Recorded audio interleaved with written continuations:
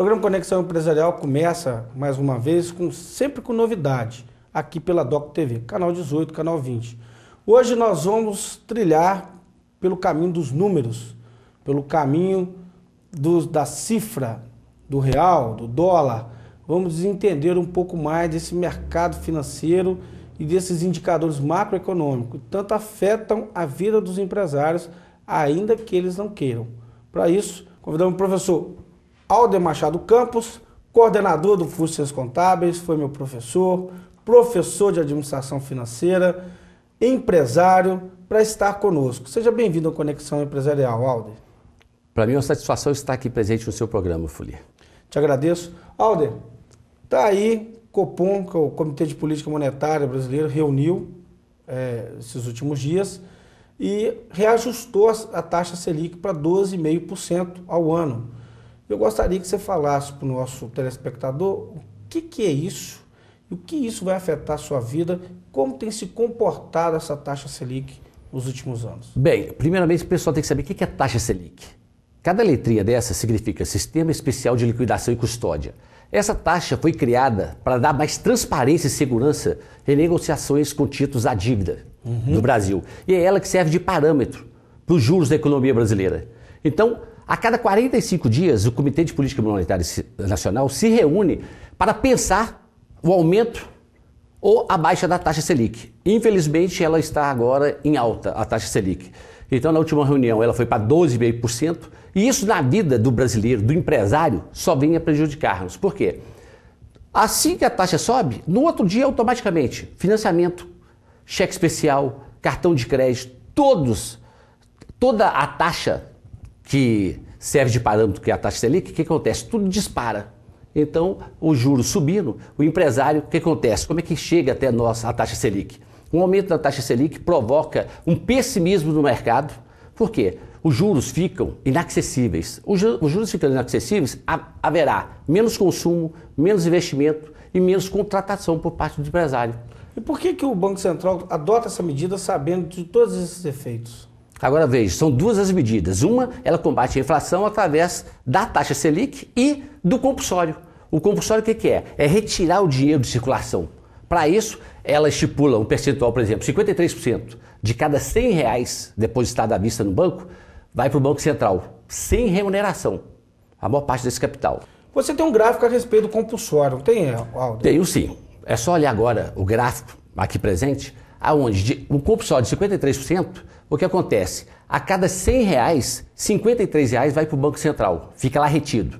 E a diferença fica, 47 reais, fica com o banco, aonde parte desse capital, de cada 47, 2 reais tem que ir para o microcrédito. Que acaba não indo. Porque o, o banco prefere não emprestar para o empresário esses 2 reais a cada 100, por quê? Com medo de não receber, inadimplência, microcrédito. Então ele é penalizado, esses dois reais vai também para o Banco Central sem qualquer remuneração. Sem remuneração.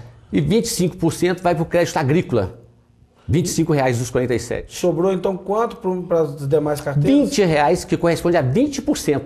E dá esse lucro astronômico para o banco. Você vê aí, 10 bilhões um lucro do Banco Bradesco, do Itaú. Isso ele contando com 20% do capital à vista. Você imagina se o banco não fizesse o compulsório enxugando, tirando de circulação esse capital. E o compulsório justamente é para fazer essa é, diminuição de liquidez, ou seja, diminuir a quantidade de dinheiro em circulação, diminuir o poder de compra. Para conter a inflação. Para conter a inflação. Agora, você também tem um, um, gráfico que você tinha falado conosco sobre a evolução da taxa Selic. Tem. Que é aquela que o, a taxa de referência do mercado, aí, quanto que o governo paga Isso. pelos seus títulos. Como é que ela tem se comportado? Eu vou apresentar aqui também o gráfico da evolução da taxa Selic.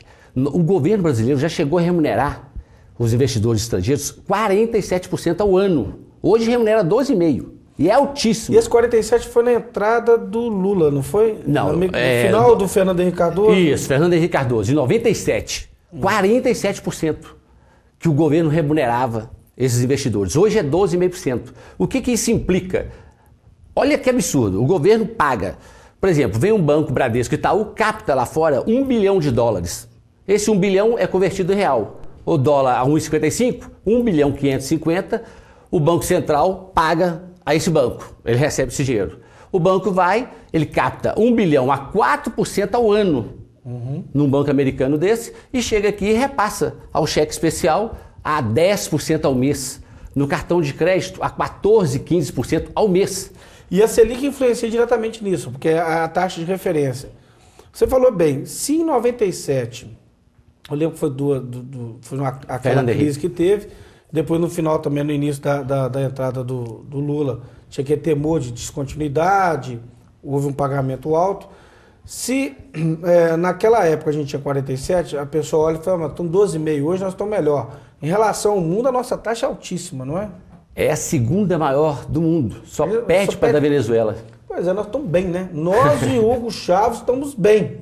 Né? Hugo Chaves não paga, nacionaliza as pessoas e nós pagamos taxa. Agora, aí. o que acontece no Brasil? Os bancos são os maiores credores. Uhum. Eles preferem comprar títulos da dívida, porque são bem remunerados e o risco praticamente zero, do que repassar para a população. E aí, então, sobrando menos dinheiro, sobra menos dinheiro, dinheiro muito mais caro.